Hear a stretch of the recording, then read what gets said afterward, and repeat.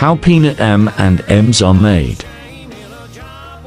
First you get the peanut seed. Then you sprinkle the chocolate powder on them.